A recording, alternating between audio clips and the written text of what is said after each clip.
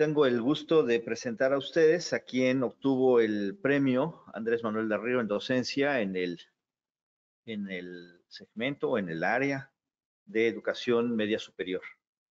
Y él es el maestro en docencia César Robles Aro, eh, que colabora en el Colegio de Ciencias y Humanidades en el plantel Azcapotzalco de la Universidad Nacional Autónoma de México. Actualmente el profesor es, es profesor titular B de tiempo completo en las asignaturas de química desde la 1 a la 4 en la Escuela Nacional Colegio de Ciencias y Humanidades. Cursó la carrera de Ingeniero Químico Industrial en la Escuela Superior de Ingeniería Química e Industrias Extractivas del Instituto Politécnico Nacional. Durante su ejercicio profesional temprano, trabajó en el Laboratorio de, eh, de, Estudios Ambientales, análisis de factibilidad técnico de proyectos industriales, puesta a punto de técnicas analíticas de análisis ambientales y asesor ambiental para diversas empresas. Desde 1994-98 se desempeñó como gerente analítico en tecnología ecológica química, Sociedad Anónima de Capital Variable, en donde implementó las técnicas de análisis químico para las normas 031-085 ECOL.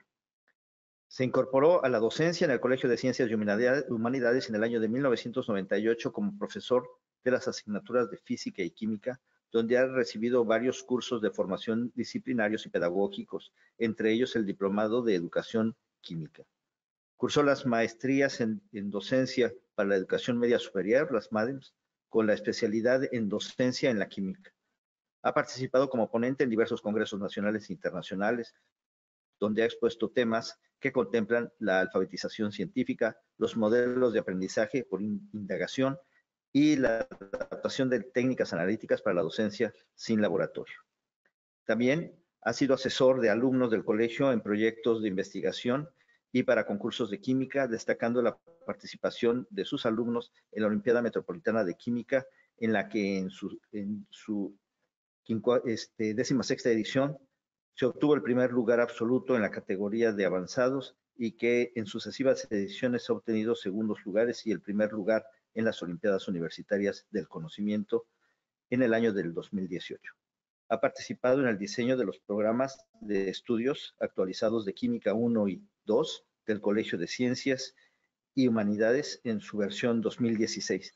También ha diseñado e impartido programas de formación como cursos para profesores del Colegio de Ciencias y Humanidades con un diplomado avalado por la Facultad de Química de la Universidad Nacional Autónoma de México. Ha diseñado e impartido cursos de actualización para la implementación de los programas de estudios actualizados de Química 1 y 2 y para promover las habilidades digitales de los docentes. También ha participado en los programas actualizados de actualización docente del Colegio de Bachilleres con el diseño de cursos para docentes desde el 2010 a la fecha. Ha sido docente para la coordinación de la actualización docente de la UNAM en diversos programas de actualización para docentes en los estados de México, Nayarit y Oaxaca. En colaboración con el doctor Plinio Sosa, ha elaborado un libro de texto para la educación secundaria para la editorial Macmillan y ha sido revisor técnico de libros de educación secundaria de autores como José Antonio Chamizo, Esfinge, Ernesto Colavita y coautores en Macmillan 2015 y para la editorial Innovación Académica del 2017. Ha impartido diversos cursos sobre actualización disciplinaria y didáctica de las ciencias experimentales para profesores de educación media superior de los sistemas CECIT, Oaxaca y Sinaloa, el Colegio de Bachilleres y el Colegio de Ciencias y Humanidades y ha diseñado diplomados para la docencia de la química, la formación de docentes de ciencias naturales. También ha participado con el diseño del módulo de planeación didáctica con un diplomado para la orientación de pruebas de concurso para maestros del CCH. Muchísimas gracias por haber eh, participado en, esta, pues este concurso y haber obtenido la distinción que lo honra como eh, Premio Andrés Manuel del Río en Docencia.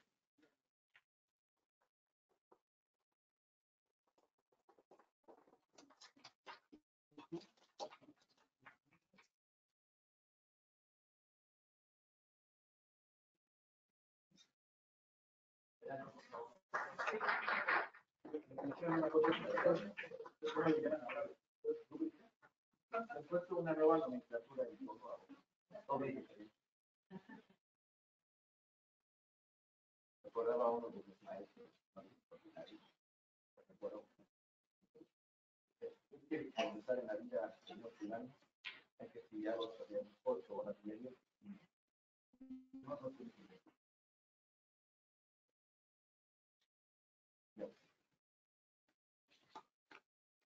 Adelante, por favor. Podemos dejar el diploma y la... Muy buenos días tengan todos ustedes. Gracias por el reconocimiento que me ha sido conferido. Doctor Gabriel Cuevas, muchas gracias, muy agradecido. Doctora Flor Reyes Cárdenas, maestra Rosa María Catalán y honorables asistentes al Tercer Congreso Internacional de Educación Química. Cuando me dijeron que tenía que presentar una conferencia, eh, la cabeza se me cerró. Dije, ¿de qué voy a hablar? O sea, soy un maestro de bachillerato. Mi chamba es dar clases. Y que no se me entienda mal, no es chamba en el sentido peyorativo del trabajo, ¿no? Mi trabajo de todos los días, pues es trabajar con adolescentes. Tuve el eh, grandísimo honor de ver la conferencia del año pasado del doctor Felipe León y el estándar es muy alto. Entonces, les ofrezco una disculpa, haré el mejor esfuerzo posible y espero que esto no demerite la calidad de la, Sociedad Química de México. Y el motivo con el cual quise escribir esta conferencia es, pues, cómo se llega a ser docente de bachillerato de, eh, en química específicamente. Ciertamente me presento con humildad ante ustedes porque nunca, como lo mencionó la maestra que me precede, esperaba yo tener un reconocimiento de este calibre. Si uno recibe eh, eventualmente los buenos deseos de los alumnos, uno siente que ya hizo las cosas bien. Pero recibir el Premio Nacional de Química Andrés Manuel del Río, de la Sociedad Química de México, la sociedad gremial de química más importante del país, es un asunto de otro planeta. ¿Por qué lo digo de esa manera? Porque este premio lo han recibido eh, gente de la talla de, por ejemplo, el doctor eh, José Ávila Galinzoga del Instituto Político Nacional, decano, me paz descanse, por cierto. El maestro José Clemente Reza. Son mi primer amor, el Instituto Político Nacional. Yo cuando tendría ocho años decidí que en algún momento iba a estudiar química, y ahorita platico de ello, y terminé estudiándola en la escuela que en ese momento y para mí era la mejor opción. Pero sería un ingrato si no reconozco también, por supuesto, gente de la talla como el doctor Plinio Sosa, al maestro José Antonio Chamizo, que todo el mundo tenemos como referente, y por supuesto al maestro José Manuel Méndez Estival un lugar muy, muy especial para mí. Lo guarda y lo seguirá siendo un referente para mí durante mucho tiempo, don Antonio.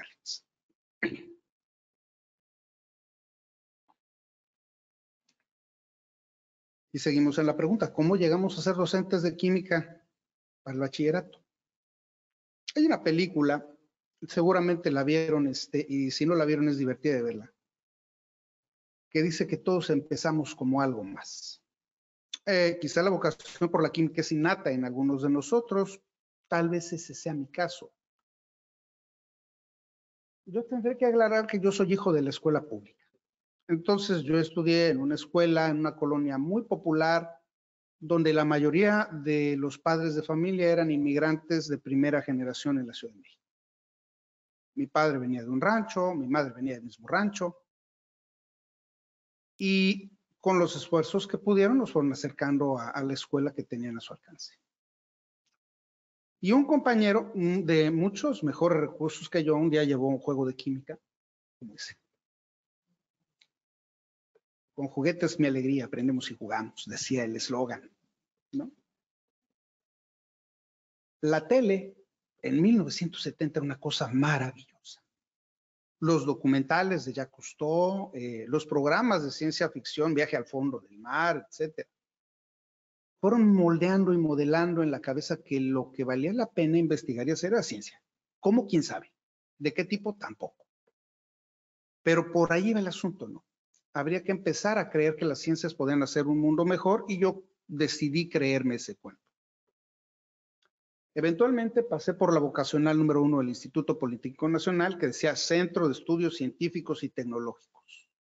Dije, pues ahí, ¿para qué voy más lejos?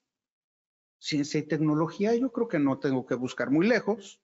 Luego mi papá tuvo la posibilidad de estudiar un rato en el Instituto Politécnico Nacional. Dije, pues yo creo que por ahí tiene que ser. No tengo que batallar demasiado para pensar. Entonces, mi futuro a los ocho años estaba decidido. Iba a ser químico, ¿no? Entonces, el empeño desde ese momento, desde que tuve contacto con un juego de química, fue conseguir un juego de química propio. Y sí, con algunos vasitos, con frascos de Gerber, metiendo cositas al mezclar haciendo relajo y medio, me hice mi juego de química. A lo mejor no mi alegría, pero funcionaba bien. Mencionaban de la ingratitud de la memoria, cierto. Yo no podría dejar de reconocer a mis maestros de primaria. La maestra Mari, que me pateó el trasero bien bonito cuando yo pasé a pretender sabía leer y que me dijo, tú lo sabes leer.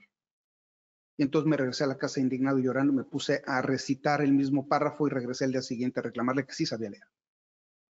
Entonces, ese tipo de cosas que no sé si siguen ocurriendo hoy con los maestros de primero, ojalá y sí. Es lo que de alguna manera me fue moldeando a hacer lo que, para buena o mala suerte, soy hoy. En la secundaria tuve efectivamente buenísimos maestros de ciencias, pero también buenos maestros de humanidades. Yo me acuerdo de un maestro al que odiábamos con un cariño terrible, ¿no? Sí, es una frase totalmente contradictoria.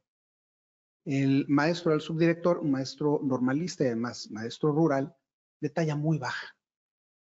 Y mozalbetes, la mayoría de secundaria le sacábamos, por decir poco, 20, 30 centímetros de estatura. Si ustedes recuerdan la serie de los 70, señorita Cometa, bueno, ¿se acuerdan del dragoncito? Bueno, ya saben cómo le decimos. Este, pero el tipo no se amilanaba. Y él nos daba física y química y civismo, historia y a veces música. Entonces era un hombre orquesta, era un renacentista. Pero era duro, duro, duro, duro. Para ser chiquito era muy duro. Eventualmente transito de la secundaria llego a la vocacional y ahí como que se me apaga el switch, porque no entendía cómo iban las cosas. La, vocacional fue un periodo muy complicado. Hasta me estaba rajando.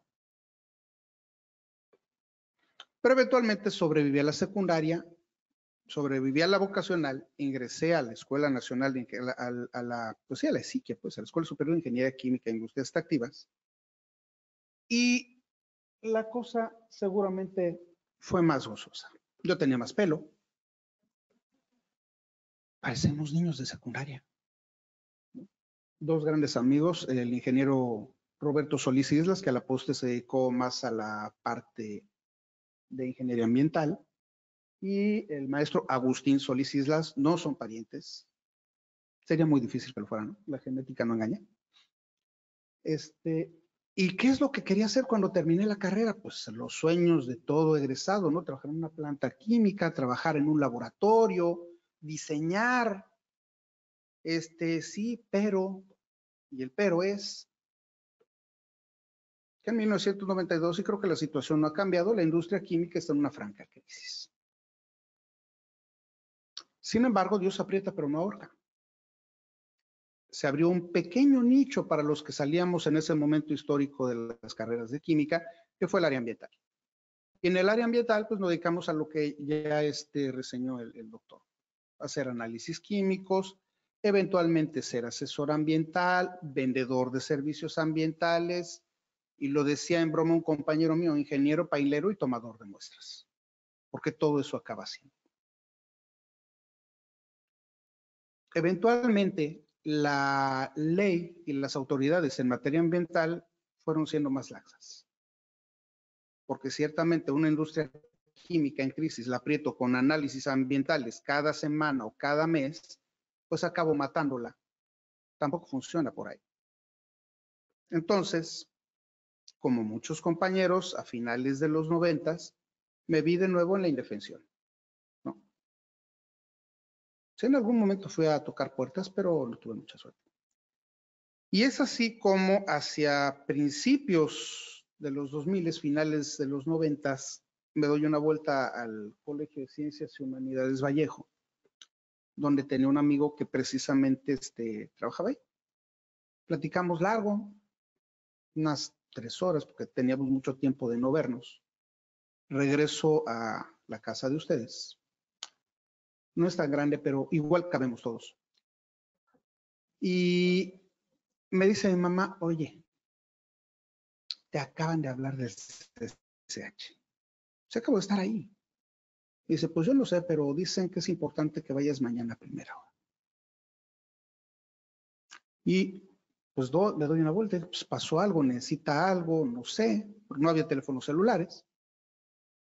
Y dice, oye, este, ¿qué estás haciendo? Bueno, pues en ratitos hago ventas técnicas, preparo cotizaciones para proyectos, cosas como esas. Dice, mira, a lo mejor ahorita estás pasando por la marracha.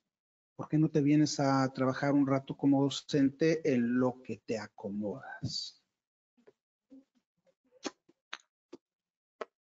Sí, ¿no? Vamos a intentarlo. Y entonces, pues me presento con, las personas que asignaban horarios y dice, mira, tengo un horario de, eh, de, 9 a 11, este, lunes y martes. Este, ¿te interesa? Pues, pues sí, me interesa. Este, pues bienvenido, este, pasa la coordinación, también entrega una copia del programa y un borrador. Ok. Ok, ok, ok. Y entonces, ya cuando tenía mi programa en la mano, tenía mi borrador, los veo, dije, ¿y en qué diablos me acabo de meter? ¿No? O sea, literal, tuve una noche de terror. De camino a su casa había solo una librería.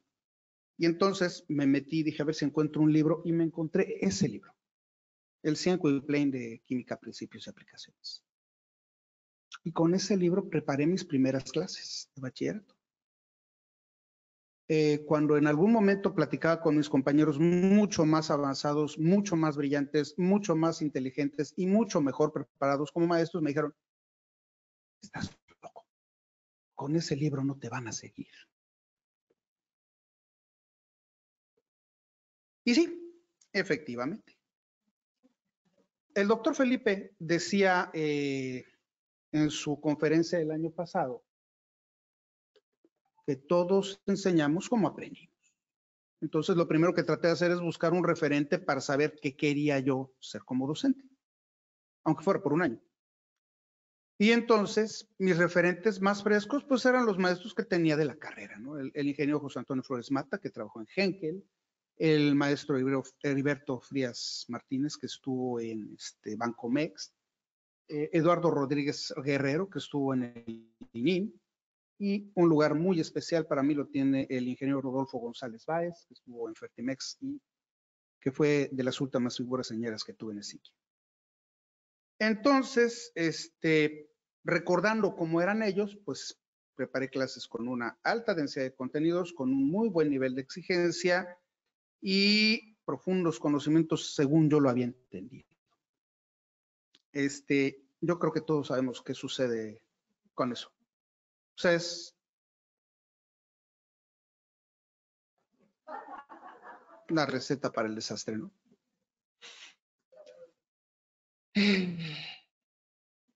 Entonces, pues, ¿qué hago, no? O sea, salgo de la clase y por atrás me dicen, hay valor, terror.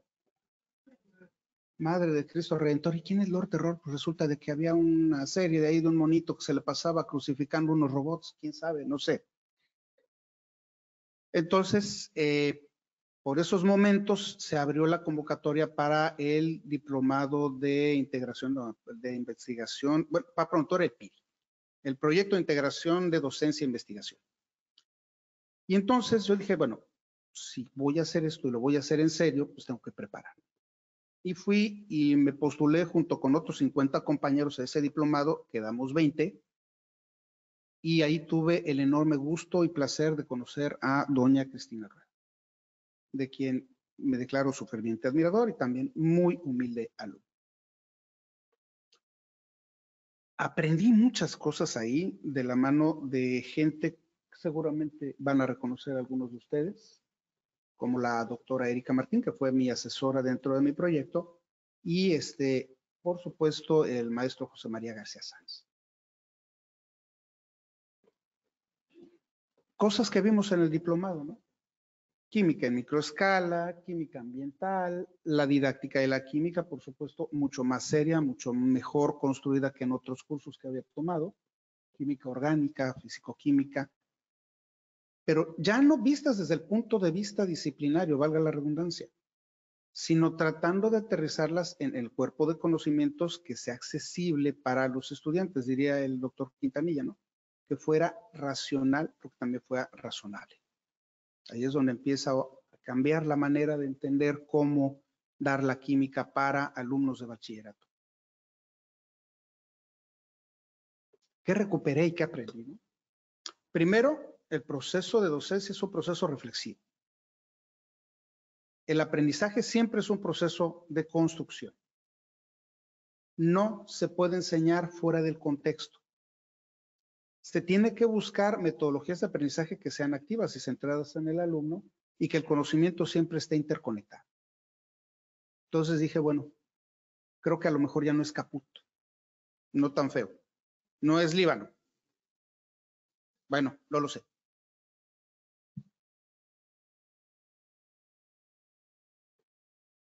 De a poco creo que fui haciendo, clases más interesantes, pero, y de nuevo, los eventos sociopolíticos en este país como que marcan impases. Pues tocó la, huelga más importante de la Universidad Nacional en su historia reciente. Casi un año fuera de las aulas. Y no porque eventualmente las autoridades decían, pues es que tienen que trabajar con los alumnos, entonces vamos a extramuros, a tutú, pipí, papá. Fue un asunto muy, muy interesante porque me volví medio esquizofrénico, a lo mejor sigo igual de esquizofrénico. Los muchachos tenían muy claro que no querían ir a extramuros. Las autoridades tenían muy claro que tenían que ir a extramuros. Yo dije que no se puede forzar a nadie a hacer algo que no quiere. Entonces yo tenía que asumir mi papel como compañero de mis compañeros maestros y entonces me presentaba extramuros pero también me asumí y entendí parte de las demandas de los muchachos y si ellos no querían extramuros, tenía que trabajar con ellos, punto, donde ellos quisieran, como ellos quisieran. Ciertamente no en los planteles porque los planteles estaban secuestrados y las condiciones de seguridad para ellos y para mí eran cero. Entonces estuvimos itinerantes donde nos dieron la oportunidad de poder participar con ellos. Diré que a fin de cuentas no los dejé solos y ellos no me abandonaron. Entonces transitamos la huelga y logré entender algunas cosas importantes para mí. En ese momento no las tenía tan claras. De nuevo, son elementos de contexto, pero de conocimiento también de nuestra clientela. Y lo digo en el sentido prudente de la palabra, nuestros estudiantes, a la gente a la que le debemos nuestro trabajo. No vale la pena suponer que por default son revoltosos. Son ingenuos. Les faltan muchas herramientas de juicio y de conocimiento. Son víctimas y sujetos de su circunstancia histórica. Porque si no entendemos esto, entonces lo que sucede después de este tipo de movimientos es que no podemos ser compañeros, somos enemigos. Y regresar a un plantel con la sensación de ver sentado frente a tus enemigos es una sensación que no funciona, no puede trabajar. Entender que los adolescentes son como son, porque son sujetos en construcción, nos obliga a entender que el proceso de aprendizaje y nosotros mismos somos sujetos en reconstrucción. Entonces, ser docente no es solo conocer la disciplina, tampoco mantenerse actualizado en las formas en las cuales se enseña sino que es indispensable conocer al público al que nos dirigimos. Conocer la psicología del docente se vuelve clave en este punto. Asumir que el docente tiene una presencia no solo académica, sino también política es importante. Tenemos que colaborar con nuestras comunidades, con nuestros compañeros, porque a fin de cuentas las decisiones que se toman en las escuelas pasan por el conjunto de profesores. Y el asunto es que de a poco, con la sobrecarga de contenidos, trabajos, informes, reportes, este tejido social que constituye a los maestros se va rompiendo. Cada vez menos somos un cuerpo colegiado y sí somos un colectivo amor. Eh, eventualmente, la sensación de que algo habíamos perdido como institución en la universidad después de la huelga me fue marcando, se me fue haciendo muy pesado. Yo no quería seguir sintiéndome así y busqué un pretexto para decir, es que la universidad es mucho más grande que un movimiento en el cual este, los muchachos salieron escoltados por la Policía Federal Preventiva. Y lo que hice fue algo que siempre había tenido ganas de hacer y no me había salido. Preparar muchachos para concursos, específicamente para Olimpiadas de Química. La foto está relativamente balanceada. Hay casi tantas mujeres como hombres. Esa idea de que la ciencia solo es para los hombres es una tontería. Ahí hay una manera de ver. Pero además, el maestro no tiene que estar al frente, el maestro tiene que estar atrás. El maestro es el director de orquesta, pero que no se hace evidente. Los que ejecutan la obra son los alumnos. Y créanme que la obra fue muy bonita y sigue siendo bonita. Porque muchos de ellos no pretendían estudiar química. Y ahí tengo uno, dos, tres, cuatro, cinco muchachos que estudiaron química. Una señorita que estudió primero estudiar psicología y después biología y otro joven que estaba muy comprometido con la causa social que terminó siguiendo sus instintos y estudió ciencias políticas, pero algo aprendió de química. Entonces, no es un esfuerzo menor. Y además es un esfuerzo que se hace por gusto y con ganas de hacerlo. También participamos en ferias de ciencias. Igual, participan hombres y mujeres. A veces lo hacen mucho mejor las mujeres, a veces lo hacen mucho mejor los hombres. Es un asunto más probabilístico, quiero pensar, que socialmente construido. No sé. Sin embargo, y aunque todo esto es muy bonito, la verdad es que le faltaba yema al huevo, decía la maestra Cristina. O sea, sí, estaba enseñando contenidos, contenidos disciplinarios con los cuales me sentía muy, muy a gusto, me sentía cómodo. Había entendido y empezado a entender que a fin de cuentas la docencia es un asunto muy complicado, pero algo faltaba, algo no entendía. Y entonces en ese momento o por esos días aparece la MADEMS, 2003. Y entonces yo me apunto. Y así como lo hice con el diplomado de química, pues también me apunté a la MADEMS y tuve la gran fortuna de haber sido aceptado. Y con la MADEMS entendí que los docentes tenemos que hacernos y construirnos como docentes. Ok, Salimos como ingenieros químicos, salimos como químicos, como UFBs, pero nuestro trabajo no es eso. Nuestro trabajo es hacer docencia, enseñar y enseñar a aprender y enseñar a hacer y enseñar a convivir y los cuatro pilares que menciona de los. En este proceso de profesionalización docente, pues lo que fui entendiendo y recuperando es que hay que considerar cómo aprenden los alumnos y qué es lo que saben. Mantener los tres aspectos que ya se han mencionado en, en este congreso de la representación simbólica, los aspectos nanoscópicos y los aspectos microscópicos en el discurso de manera permanente. Buscar referentes teóricos. Si está padre enseñar de feeling, pero si alguien ya anduvo el camino antes que uno, entonces la probabilidad de que lo ande mejor es más alta. Y dos cosas que son claves para mejorar las clases es entender esas dos cosas. La ciencia es un proceso de construcción, de construcción social, y que además es una actividad humana, política y social.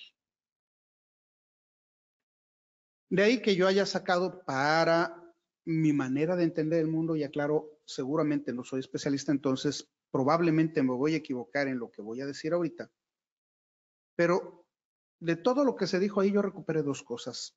Por una parte, lo que entiendo como formación científica y por otra parte, la formación ciudadana. Las dos juntas terminan siendo alfabetización científica. Para mí, ¿qué o cómo entendí la formación científica? Cómo los contenidos se estructuran en un currículum es importante, pero esos contenidos tienen una razón histórica de por qué se meten en el currículum. ¿Por qué es necesario incluirlos? ¿Qué le aportan a la cultura del estudiante? Y aquí es importante, por supuesto no podía dejar de lado a don Andrés Manuel del Río. Ok, viene un transterrado de España, empieza a hacer trabajo químico porque además estuvo trabajando muy cerca del aguacía, casi le cortan la cabeza, se escapa y se viene a trabajar a Simapán. Y entonces extrae un mineral que hace cosas muy bonitas, es de colores, pero al final termina siendo rojo. Viene Alexander von Humboldt, dice, pues dame tus resultados, préstame unas muestras y los sometemos al escrutinio, lo que hace la ciencia. Ok, esa es la parte objetiva, bonita y, rica del trabajo científico que todos deseamos y así nos lo enseñaron. Y cuando presenta las muestras, pues es que este cuate no sabe hacer análisis, es cromo, ¿no? O sea, se descalifica porque pues no estás en Europa donde se está haciendo la ciencia de vanguardia. Sí, la, ciencia es como cualquier actividad humana sujeta de pasiones, egos, cariños, amores y pleitos. Pues, es un ejemplo. De quererse mucho Humboldt y Andrés Manuel del Río, pues creo que rompieron la pipa de la paz, ¿no? Porque la, la relación dejó de ser tan bonita como era. Y eventualmente don Andrés tuvo que retractarse de sus resultados para que años después le dijeran, no, es que sí tenía razón pero por el asunto de que a fin de cuentas el nombre se queda ya con el reconocimiento, pues no quedó en eritronio, a pesar de que todavía este, el, ay Dios mío, Sandoval Vallarta y otros estuvieron insistiendo para que se recuperara el nombre de eritronio. No hubo manera. ¿Por qué menciono el caso del doctor Andrés Manuel del Río? Porque en Química 3 hablamos de minerales la vocación minera en México es muy importante. Que los chicos entiendan que tenemos una historia química muy importante desde el periodo novohispano, es más, desde la química prehispánica, es importante que ellos sientan de alguna manera que son parte de esa cultura y que no es una cultura menor.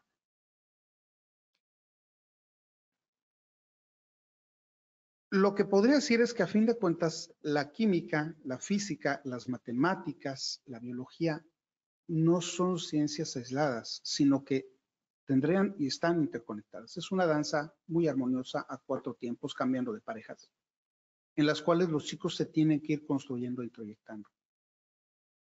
Enseñamos química, sí, pero enseñamos muchas más cosas.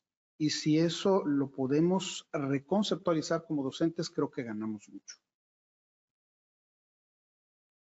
A fin de cuentas, y algo que comentábamos en la mesa ayer, es que eh, si bien la física apela a las verdades grandototas de la naturaleza, o por lo menos así lo, lo creen algunos compañeros, la química es mucho más humilde, ¿no? La química, pues nace en la panadería, nace en la cervecería, nace en la forja de metales. Es una ciencia que está al servicio de las necesidades de los seres humanos por lo tanto es una ciencia profundamente humana y profundamente humilde. Eso es necesario de entenderlo, porque si reconocemos este carácter humano de la ciencia, podemos enseñarlo y pueden aprenderlo los alumnos en algo que el doctor Felipe decía el año pasado, se llama naturaleza de la ciencia. Y pues entonces aterrizamos también en la formación ciudadana. Sí es bueno saber los contenidos y cómo se gestan históricamente, pero hay que entender que estos contenidos también tienen una función social presente. Poder actuar eh, de manera informada, poder participar del debate de los productos de la tecnociencia, poder reconocer de qué manera las políticas nacionales, institucionales, educativas, influyen o son influidas por las decisiones que se toman al respecto de estos productos es importante dos botones de muestra, ¿no? Cuando se dice y se decide que no se van a obsequiar bolsas de plástico o embalajes de plástico en los centros comerciales, la decisión política no necesariamente es una decisión científica. Y los argumentos que sustentan el por qué se elige eliminar las bolsas de plástico tienen un contenido más emocional que científico. Ese es un ejemplo que nunca se discutió. Lo terrible fue ver las imágenes de tortugas con bolsas de plástico. Lo que no se entendió es que el problema no son las bolsas, el problema son los hábitos de consumo de los seres humanos. La alfabetización científica y la formación ciudadana tienen que hacer claro esto. Cuando se habla de comida chatarra es la misma situación. No hay comida chatarra, hay mala dieta. Yo me puedo comer un gansito, perdón por el comercial, sin ninguna culpa. Si sé que a fin de cuentas, pues tengo que correr cuatro kilómetros, ¿no?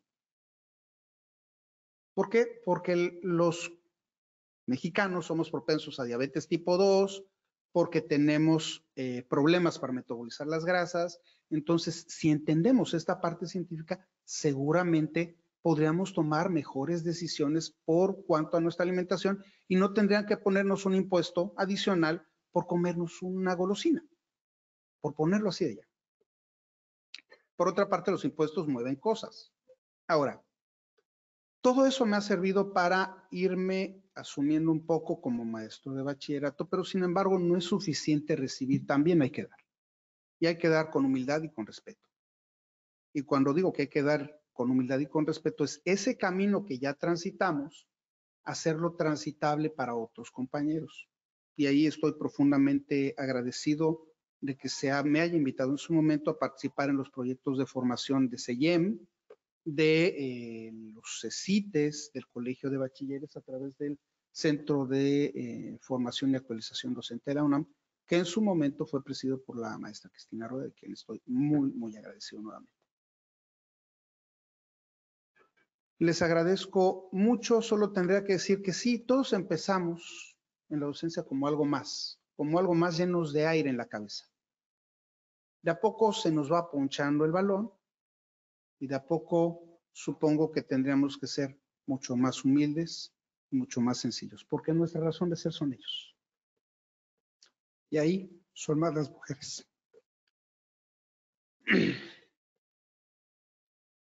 Y no me quiero ir sin a una mujer muy importante. Tres, de hecho. Perdón.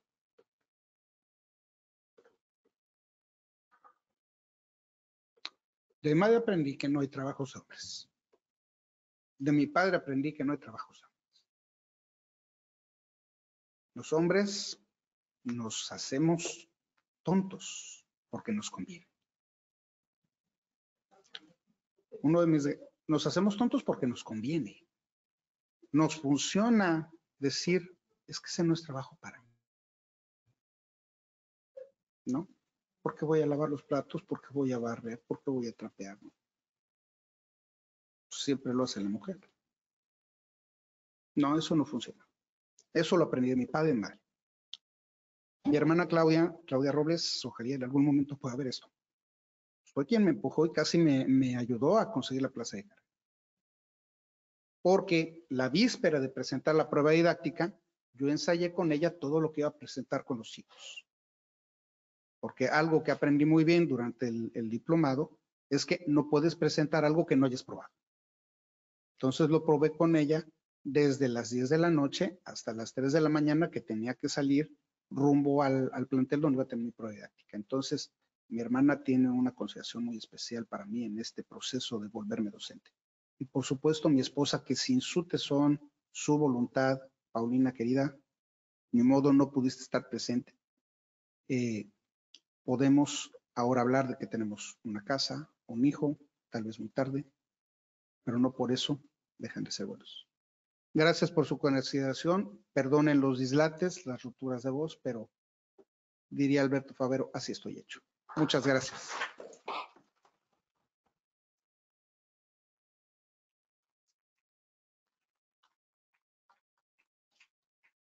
Eh, un comentario eh, con todo lo que ha dicho me siento en parte eh, identificado porque yo también pues, no soy profesor ni tampoco soy ingeniero químico.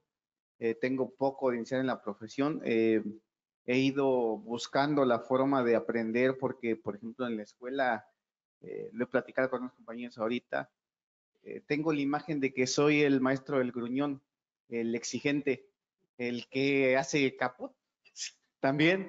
Este, eh, dentro de esto, lo, positivo es que ahorita que estoy en el Congreso, yo sé que cuando regrese, aunque mis alumnos no hayan tenido nada de química, por lo menos han adquirido la disciplina de trabajar aunque yo no esté presente. Me hace falta mejorar, evidentemente, eh, también retomando lo que sea la maestra, esos, esas actividades que hagan que los alumnos se involucren más. Eh, lograr que permeemos algo algo en ellos eh, igualmente, de las cosas positivas que creo que he logrado con mis estudiantes es que los peores alumnos, los que se comportan mal con todos, eh, conmigo no lo hacen.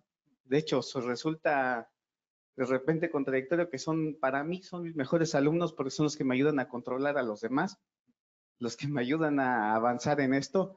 Y ha sido eh, muy emotivo para mí escucharlo, porque me permite un poco aprender, como dicen, en cabeza ajena, que por ahí escuchaba hace pocos días de que estudiar es eso, aprender en cabeza ajena, eh, saber qué, qué es lo que más falta por mejorar, qué, qué debo de poner atención para dejarla ser un poco caput. Gracias. Gracias.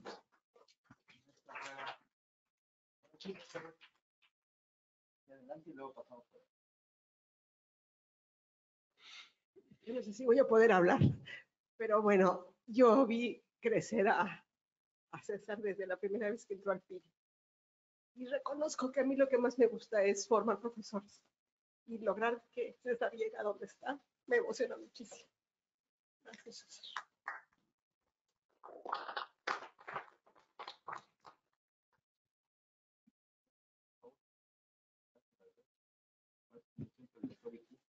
Maestro, maestro, maestro, maestro. Vuelvo a reiterar lo que dije. Me siento privilegiado de estar en este colectivo. Lo vuelvo a decir. No me voy a cansar de repetir cuando vuelva a Chile. Hay algo muy lindo en tu, en tu presentación, permíteme usar esa palabra, a lo mejor no es la más adecuada, que es tu testimonio de vida. Y los estudiantes no nos creen porque no damos testimonio. Entonces aquí hay una, una evidencia empírica, una palabra que siempre está con nosotros, de este testimonio que además lo expresa de manera muy genuina, ¿no? Eh, y me siento muy identificado con muchas cosas que has dicho, desde mi terruño, también lejos, ¿no? También soy hijo de la educación pública. Bueno, un poco comenté ayer, ¿no? No quiero enredarme con eso. Pero destaco sobre todo el cariño que pones en tus estudiantes. Se ve eso de manera interesantísima. Y yo quería hacer una reflexión en relación a esto que está pasando aquí, porque sería interesante que nuestros estudiantes también estuvieran aquí escuchándonos, escuchando lo que sentimos de ellos y cómo nos vemos a ellos, porque hay un imaginario que normalmente está ausente, que es la teoría y la práctica, ¿no? Y bueno, yo creo que ese, ese factor de, de, de configuración de espacios colaborativos con los estudiantes aceleran más el tranco, porque hacen más fuerza también y se van sintiendo identificados con estos testimonios que son muy provocadores y además muy esperanzadores. ¿eh? Eso, felicitaciones, ¿eh? te lo mereces de todas maneras, mucho más que eso.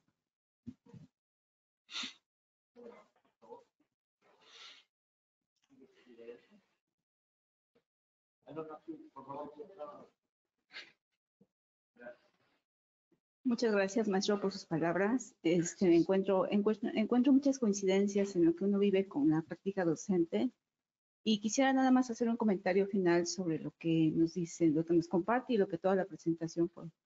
La humildad y el agradecimiento. Es uno de los problemas con los que los profesores de ciencias en nivel medio superior enfrentamos porque llegamos con la falsa creencia de que sabemos tanto, ¿no? Somos físicos, somos químicos, hemos alcanzado posgrados eh, destacados, Sin embargo, nos falta, ese es uno de los grandes pasos, ser humildes y reconocer que para ser, no somos maestros normalistas, no fuimos formados en docencia. Y ese es uno de los grandes tropiezos que encontramos. Hay quien los logra superar, pero hay desafortunadamente muchos compañeros que no logran reconocer que necesitamos formarnos como práctica docente, que desdeñan eh, la investigación educativa. Y pues afortunadamente me siento igual que muchos de mis compañeros afortunada de estar aquí y ojalá que fuésemos más. Muchas gracias por lo que nos comparte. Felicidades. Muchas gracias, muy agradecido. Pues muchísimas felicidades. A mí me parece que este es un ejemplo de un posicionamiento político personal poderoso que pues por eso tiene tanta eh, eh, coincidencia, ¿no? Ha penetrado en muchos de nosotros, de nosotras. Y eh, yo siento que eso es lo que pasa con tus estudiantes y eso creo que es lo que debería pasar con todas las personas. Es una oportunidad de pensarse como un ser humano partícipe de su, de su historia, ¿no? Eso es, y eso es química, sí, por supuesto, es un posicionamiento político. Y la química no solo tiene que ver con lo empírico, ¿no? Es una decisión también de comprometerse con las otras personas acerca de mejorar nuestras condiciones de vida. Muchas gracias. Muchas gracias.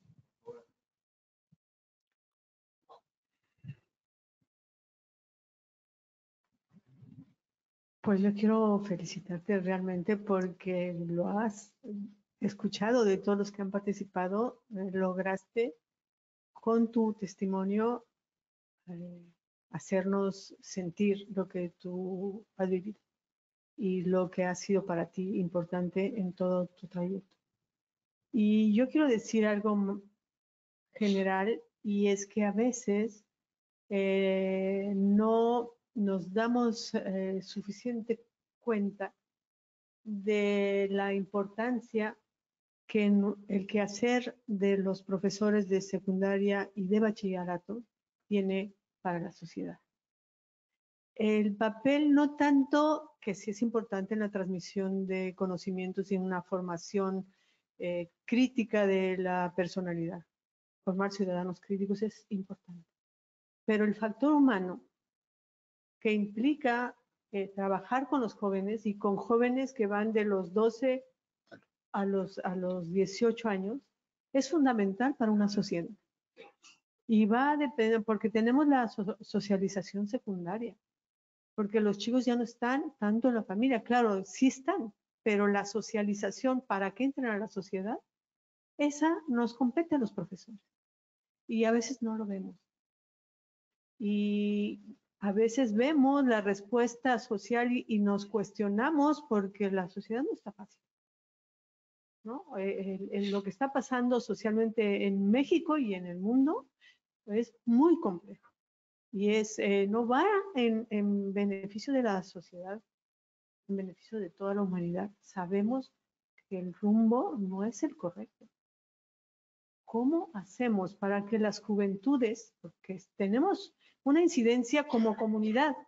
A lo mejor uno no lo, mide como, como persona en lo individual, que también lo tiene, porque lo vemos en nuestros alumnos. Aquí hay una muestra, ¿no? Cada persona que, que tú formas, este, trae algo de ti. Trae algo de ti. Y si nos vemos como comunidad, pero somos miles de maestros. Yo diría en, en la educación básica, más de un millón. Necesitamos ser una comunidad más fuerte, poder reconocernos como parte de esa comunidad y reconocer nuestro, nuestra tarea fundamental para la sociedad. Porque la educación va a jugar un papel fundamental en retomar el rumbo, porque sabemos que el rumbo nos va correcto. ¿Qué vamos a hacer para contribuir a formar personas, que son los jóvenes, que van a modificar el rumbo? Y ese es nuestro gran compromiso. Y ojalá podamos, tanto la sociedad química como la Academia de Profesores de Ciencias, poder fortalecer eh, esta, esta comunidad y, y poder discutir cosas fundamentales. No solo en términos de me voy a actualizar, sino en términos de cómo llevo a cabo este trabajo tan importante que es formar a las nuevas generaciones. Es fundamental y estamos todos los que estamos aquí inmersos en ello. Entonces, trabajemos juntos. Gracias. Gracias.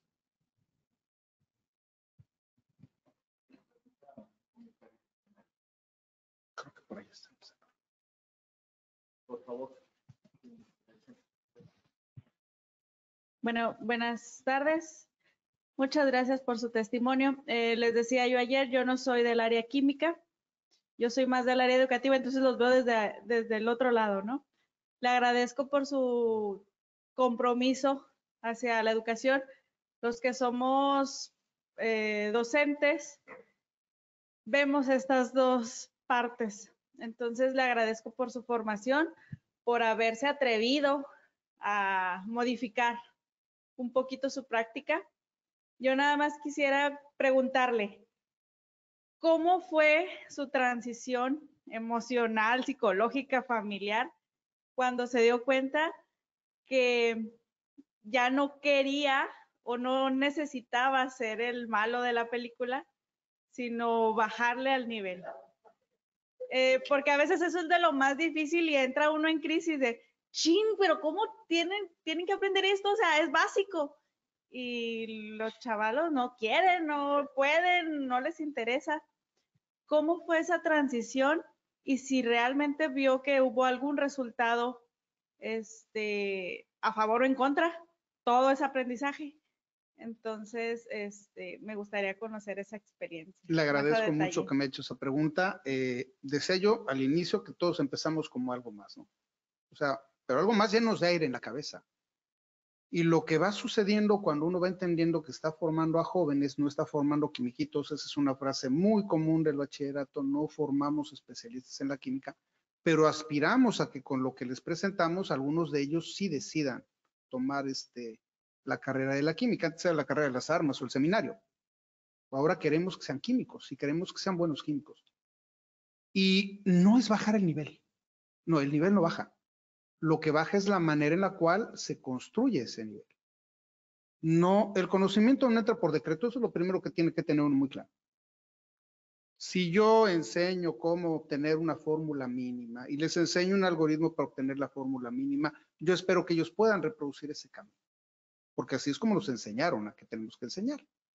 Y lo que sucede es que lo aprenden en la clase y lo olvidan a la siguiente. No, ¿cómo podemos hacer que crean que vale la pena transitar ese camino? Pues hay que buscar ejemplos que estén cerca de sus vivencias y después poner ejemplos que están lejos. El camino lo recorren. Algunos con mayor suerte que otros. No voy a decir que el 100% de los alumnos terminan aprendiendo.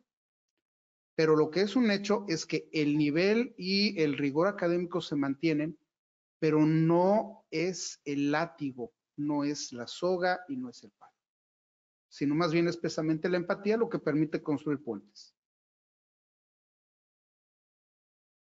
Una última pregunta. Vamos a Una última pregunta, que es la que llegó por, por los medios electrónicos. Dice, muchas gracias por esta presentación. Es una lástima no estar presente físicamente. Sin embargo, fue igualmente transmitido ese sentir entre tantas coincidencias, comenta Gerardo Paredes. Muchas gracias, Gerardo. Gracias. Pues entonces con esto terminamos la sesión de hoy, que ha sido muy emotiva y muy bonita. Sí. ¿no? Les agradezco profundamente el que sometieran sus papeles. Por favor, difundan el premio. Queremos este, eh, una participación más, este, como, como, pues, más multitudinaria. Si tenemos un millón de profesores, pues podemos tener muchos candidatos a competir. ¿no? Este, como ven, el proceso en la Sociedad Química México es bastante riguroso. Así es de que estamos muy contentos de que ustedes hayan sido este, ganadores. Muchas, Muchas gracias. gracias. Muchas gracias eh, a quienes, Gracias. a quienes nos eh, siguieron por internet. Muchísimas gracias y seguimos con las actividades del Congreso. Buena tarde.